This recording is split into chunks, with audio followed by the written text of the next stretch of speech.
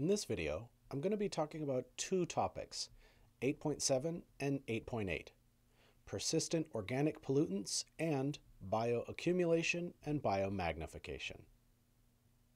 We classify pollutants using a number of criteria. One of the most important, though, is how long it lasts in the environment. How long does the pollutant last before it naturally degrades?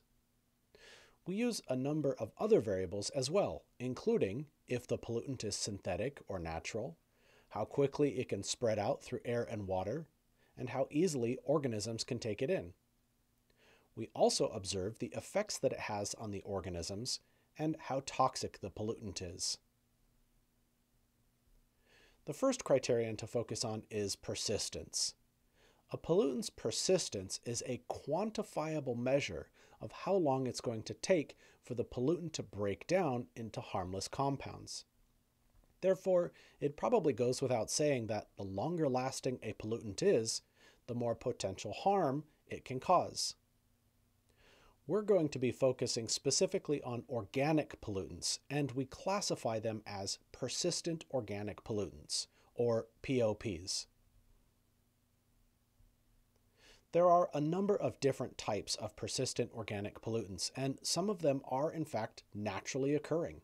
They can be released by volcanic eruptions and even are the result of some organisms' natural biochemical processes. But the vast majority of them are in fact human made.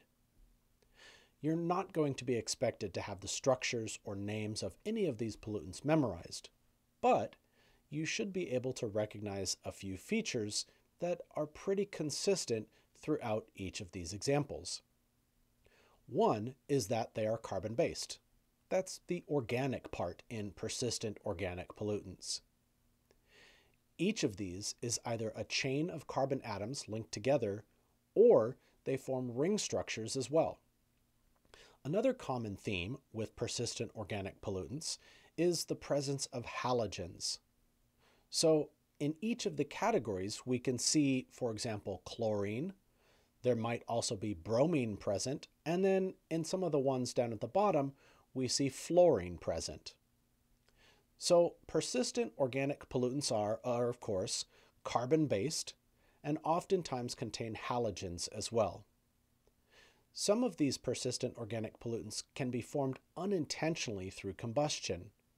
When we incinerate waste, for example, when we burn backyard trash, which is more common in rural areas that don't have trash pickup services, and even as byproducts of some industrial processes. But the ones we're most concerned about are the ones that are intentionally manufactured. Persistent organic pollutants are used as flame retardants and oftentimes as pesticides.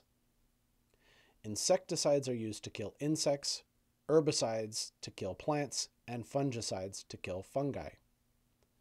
One of the best known POPs is DDT. DDT was widely used as an insecticide after World War II.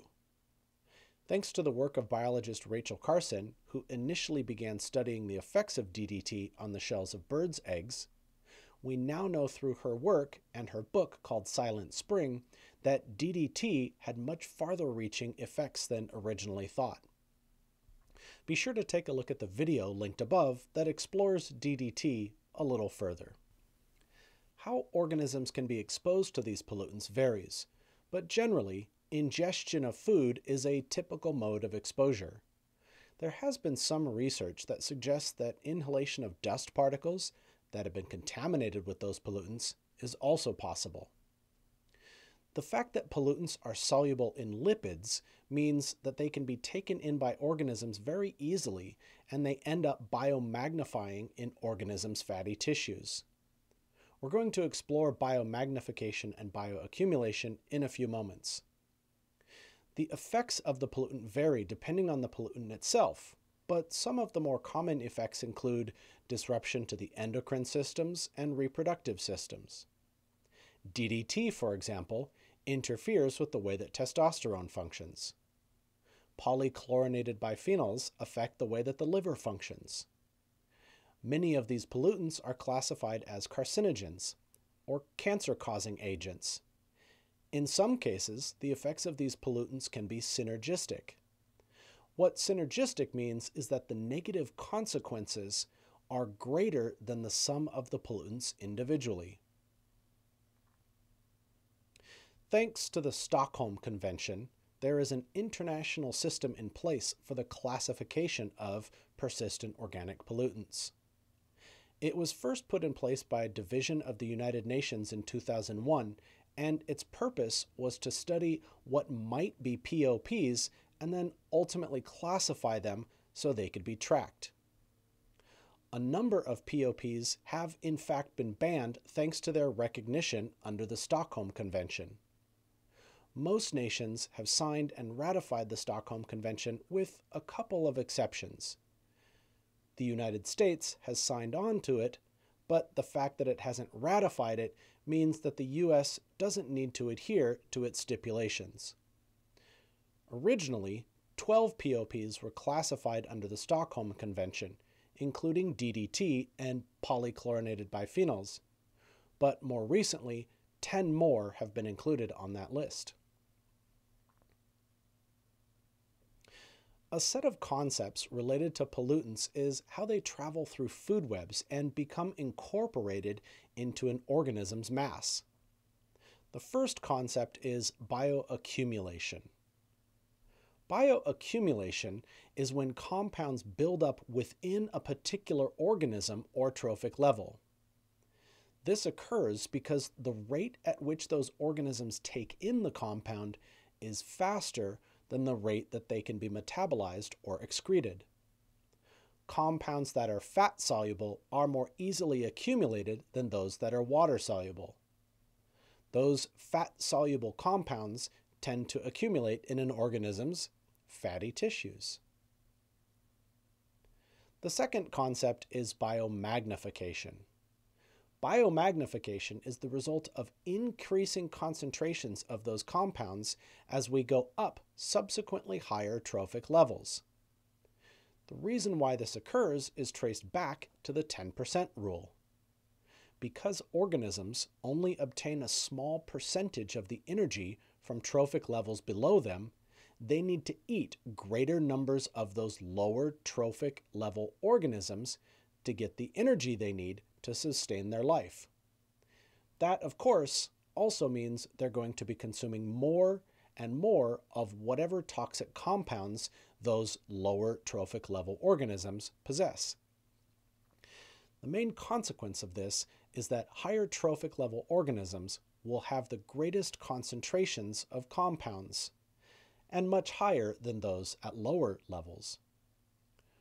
We oftentimes see this in terms of pollutants like DDT. Although the environment has a relatively low concentration of that pollutant, as producers begin to take those pollutants in and herbivores consume those producers, and so on, the higher level organisms need to consume great quantities of the organisms beneath them and therefore also have greater concentrations of the pollutants it is critically important to make a distinction between bioaccumulation and biomagnification. In bioaccumulation, a toxin builds up over time in the tissues, especially fatty tissues, of an individual organism. But biomagnification results in organisms at higher trophic levels having greater concentrations of a toxin than do lower levels. Be sure to check out the video that's linked above for a review of trophic structure and how it connects to biomagnification. Some of the most commonly bioaccumulated and biomagnified compounds include some of the POPs that we saw earlier. Their effects vary based on the concentration present in the environment and the species being affected.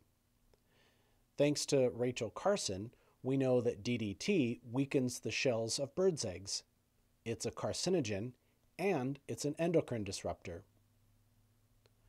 Polychlorinated biphenyls are mutagens, which can lead to mutations in DNA. They can also cause developmental or birth defects and damage the liver as well. Hexachlorobenzene is a carcinogen, especially of the liver and kidneys. And it's particularly toxic to aquatic organisms.